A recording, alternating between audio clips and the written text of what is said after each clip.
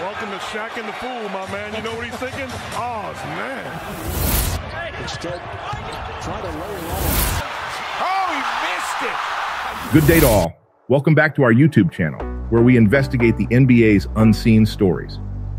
As we explore the underside of NBA shooting, get ready to enter the Hall of Fame. The worst shooter in NBA history is the name that will be revealed today as we delve deeper into the record books. Head of the pack, and oh, Prepare yourself for astounding statistics, perplexing misses, and a journey that will make you doubt all you believed you understood about the shooting. It's time to draw attention to the players who had trouble finding the goal. Get ready for a crazy video because this is going to happen. Today, we set out on a mission to find out who holds the awful distinction of being dubbed the worst shooter in NBA history, a title no player ever hopes to achieve. We're about to delve into the depths of shooting problems that afflicted some of the brightest talents to ever grace the hardwood, from crucial shots that went awry to air balls that left us perplexed. Consequently, gather your popcorn, settle down, and get ready to see greatness from a different perspective. The NBA's most difficult shots have a little known backstory. You've arrived at who's the worst shooter in NBA history. Here's a takeaway. Jackson's going to go up and miss the jam. Boy, if that doesn't say everything about this. 10. Chuck Hayes.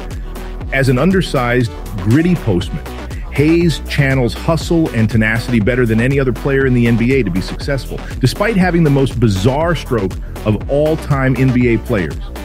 He is the only player on this list to have a lifetime hitting percentage of better than 60%. He lacks a flowing stroke, his feet aren't placed or aligned with the basket, and his elbow is out in front of his head. And this can also be utilized to call the other team's attention to lane violations.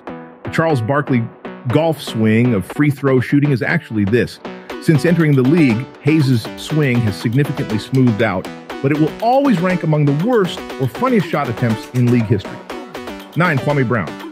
Given his record in the league, doubt anyone is very surprised that he made this list of players. Due to the fact that Kwame has never had a terrific shooting touch or been much of a face up threat in the post, it is not surprising that his success from the line is best characterized as tepid. In his career, he has made a number of highlight free shots, ranging from banking one into simply airballing one. It's typical for even some of the, the finest players in the league to airball a free shot. It doesn't help Kwame's perceived image that these stumbles and poor shooting come from one of the most scrutinized busts in NBA history. 8.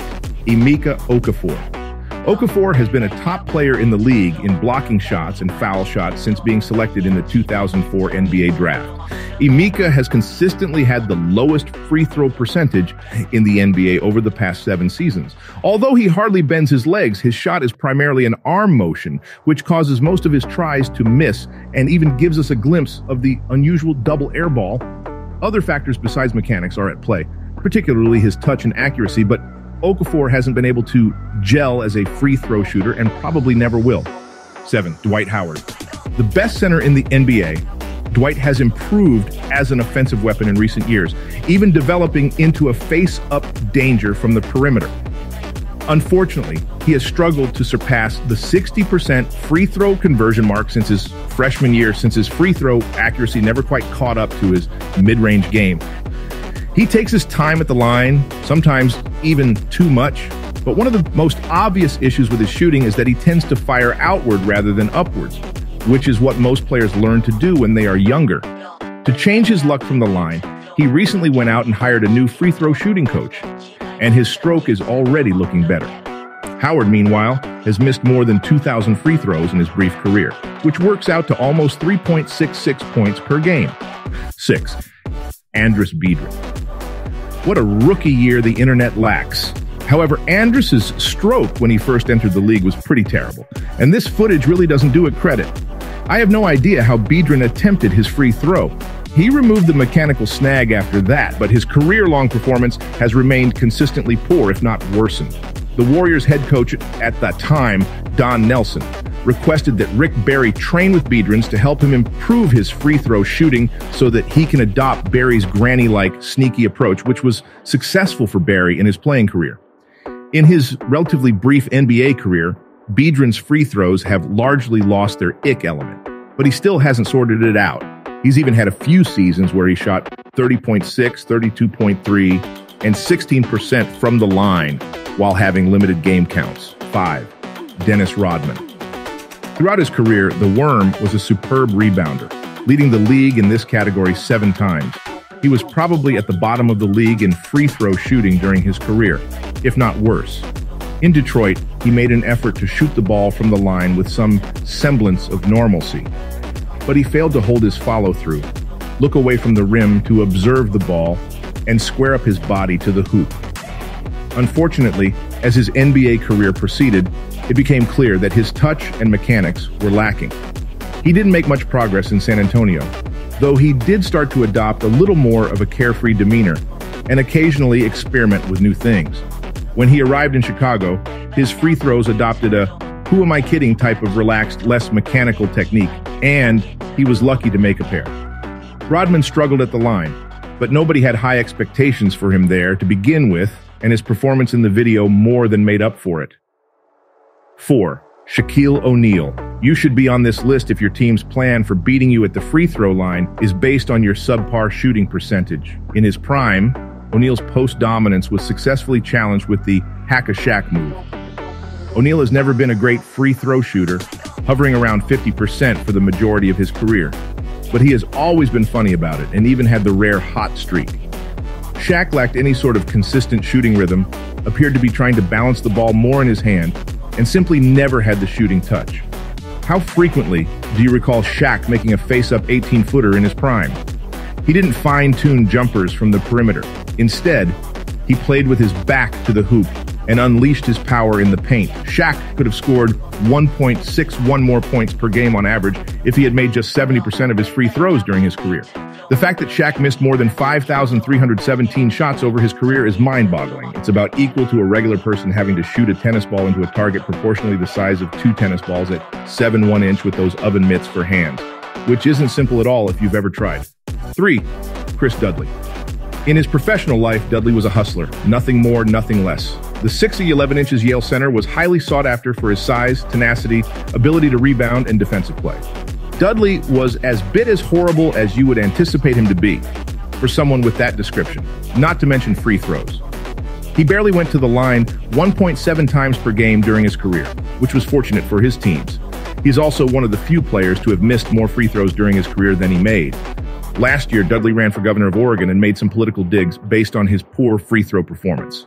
He did miss five straight free throws on one occasion for the Knicks after the opposition committed an astounding three lane infraction, setting the NBA record for most consecutive free throw misses with 13. He was consistently one of the NBA's greatest citizens, receiving the honor in 1996, and he consistently made a significant contribution to society away from the court. 2. Ben Wallace. Wallace has historically been the NBA's worst free throw shooter, yet his career is still active. His career is littered with lowlights like the uncommon double airball, strange fluke shots, opposition players high-fiving him on a make because it's so uncommon, shots that utterly airball offline and probably rarest of all making both. His mechanics were poor and his shooting touch and accuracy were atrocious. However, Wallace's toughness, instincts, and agility made him a rebounding and shot-blocking stud to be feared. Even in his career, the four-time Defensive Player of the Year has missed more shots than he has made from the free throw line. In NBA history, Wallace is the last player you want to be at the line to win the game, but fortunately for him, it has rarely come to that. 1. Wilt Chamberlain, the only center in NBA history to lead the league in assists, average over 50 points per game, and score 100 points in a single game, the stilt boasts a number of records that are likely unbreakable. In contrast, he attempted 5,805 out of 11,862 free throws during his NBA career and failed. If you do the arithmetic, that works up to an astonishing 5.55 points per game that he and his teams were unable to score. Imagine if he had a lifetime average of more than 35 points per game as opposed to the 30.1 he finished with. He scored more than 50 points per game on average throughout that season, but only 10 of his efforts at the free throw line were successful. He would score about 2.15 more points per game if his career shooting percentage was closer to 70%. Although he wasn't statistically the worst, in my opinion, he was the worst because of how consistently terrible he was from the line and how many points he missed. How many times would those few points from the free throw line have been a game changer and tipped the odds in his favor during those NBA finals where his team lost to Bill Russell and the Celtics.